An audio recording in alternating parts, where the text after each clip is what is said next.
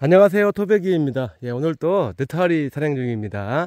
오늘 또 마음 가는 곳에 한번 길이 있다고 한번 지금 가고 있는데 어, 떤 것이 또 오늘은 또 저하고 인연이 돼 가지고 또 반겨줄지 궁금합니다. 자 오늘 또 멋지게 출발입니다. 그래서 또 주변을 열심히 보고 있는데 어, 지금 제가 좋아하는 그 삼거리 모양입니다. 삼거리 모양이기 때문에 바람이 어, 좀 쉬어가고 그런 자리예요 또 이런 자리는 능이도 잘 나오는 자리입니다. 자, 능이 포인트죠. 어, 그래서 저 위에서 어, 지금 방금 저 위에를 좀 봤는데 안 나옵니다. 에, 하지만 또 여기를 또 어, 위에서 다시 데려와 가지고 그런 수가 없는데 자 여기 또 다발로 보입니다. 자 바로 이런 겁니다. 어, 이게 맥이 같습니다. 어, 맥이 분명한 맥이 있어요 이게. 에, 이것도 어, 좀 늦게 나와가지고 상태가 좋습니다. 자, 아, 이쁩니다. 아, 조금은, 음, 뭐 이것도, 어, 조직은 벌레가 안 먹었죠? 자, 이런 모습인데, 자, 이렇게, 어, 저 위에서 보니까 이게 분명히 이 자리는 그자리라든가 능이라든가 송이라든가 이런 자리가 붙여서 자리입니다. 자, 이렇게.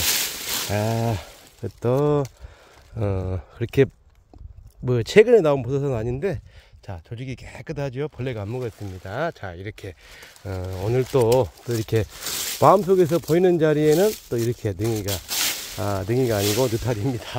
자 이렇게 아 이쁩니다. 오늘 또 이렇게 또 반겨줍니다. 어, 조금은 조건이 여기는 지금 상단만 있기 때문에 어, 하단부가 좀 좋은 자리가 있으면은 상당히 좋으련만 하는 그런 마음이 드는데 또 이것도 어딥니까? 자 이렇게 어, 굉장히 이쁜 느타리 버섯입니다. 어, 이렇게 포인트는 분명히 있는 거예요. 자 그렇죠? 자 오늘 또, 또 이렇게 어, 마음속에서 위에서 이 자리를 패스를 하고 갔으면은 이걸 못 모시고 가는데 또 그 마음속에서 아무리 힘이 들더라도 여기를 좀 보고 가야 되겠다 그냥 지나칠 수가 없습니다. 위에서 보니까 이런 자리가 보이는 겁니다. 어, 여기는 지금 또 바람이 솔솔솔 이렇게 불고 올라옵니다. 어, 그러다 보니까 어, 이런 느타리 이게 과연 우연의 일치일까요? 우연의 일치 아닙니다. 어, 이 자연의 법칙을 어, 자연의 이치를 어, 조금 더 이해를 한다고 하면은 버섯이 좀 더 쉽게 다가오지 않는가 하는 그런 마음이 듭니다. 물론 이게 또 운도 있을 때가 있습니다. 또 기술도 필요할 때도 있습니다.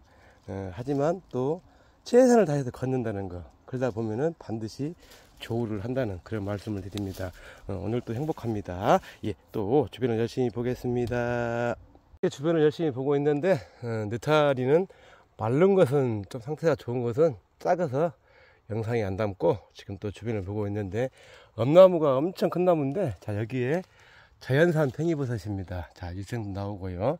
자 여기에도 지금 이 껍질 속에도 이렇게 들어있고요. 자, 여기도 있는데, 요 한번 보세요.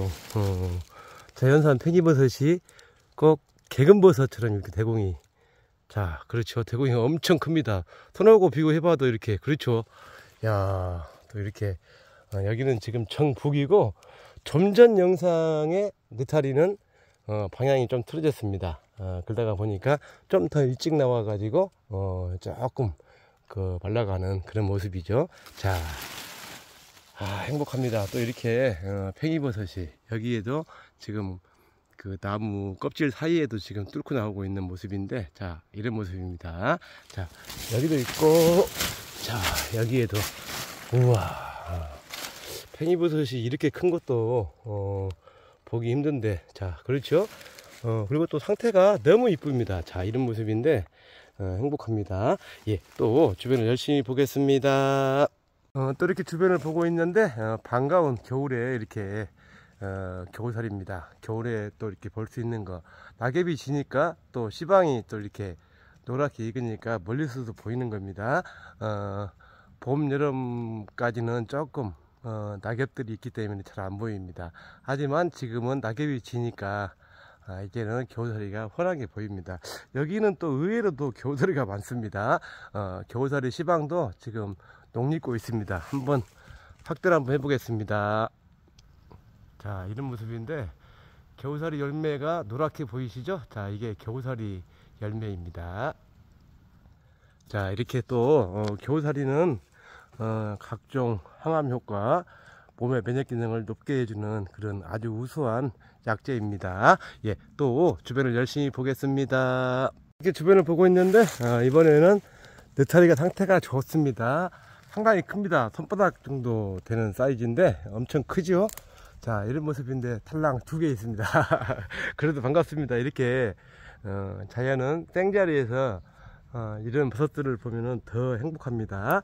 자 이렇게 또 어, 지금 여기가 한 500 정도. 원래는 좀 더 올라오면 안 되는데 여기는 밑에가 지금 낙엽성 밭입니다. 그래서 어 그냥 상단으로 지금 보고 있습니다. 어차피 여기를 또 한 번은 봐야 되기 때문에 지금 보고 있는데 환경은 굉장히 좋은 환경인데 조금 아쉽다면은 어 참나무들이 조금 밑에까지 이렇게 있어야 되는데 어, 그게 좀 아쉽습니다. 하지만 또 여기에서 또 틈새는 있다는 그런 말씀을 드립니다. 굉장히 큰 느타리 버섯입니다. 예, 또 주변을 열심히 보겠습니다. 이렇게 해서 세 개, 두 개 가지고 하나가 더 있었는데, 자, 자연적으로 좀 말라가고 있는 모습인데 굉장히 좋습니다. 자, 이렇게, 아, 행복합니다. 어, 이런 자리가 만약에 생자리에서 만약에 다 말라 붙었으면은 굉장히 좀 많이 나오는 자리인데, 지금은 또 한 골 더 넘어와 가지고 보고 있습니다. 자 또 이렇게 어, 꼭 송이 그 퍼드력이 말라 있는 그런 모습입니다. 엄청 크죠? 손하고 비교봐도 엄청 큽니다. 예또 주변을 열심히 보겠습니다. 지금은 산행 마치고 하산 중입니다. 어, 오늘 또 생자리에서 팽이버섯도 보고 네타리도 보고 행복한 토백이입니다. 아, 이렇게 열심히 하다가 보면 반드시 또 길이 생기고 그렇습니다. 그 말씀을 드리면서 또 다음에 즐거운 영상으로 찾아뵙겠습니다. 고맙고 감사합니다.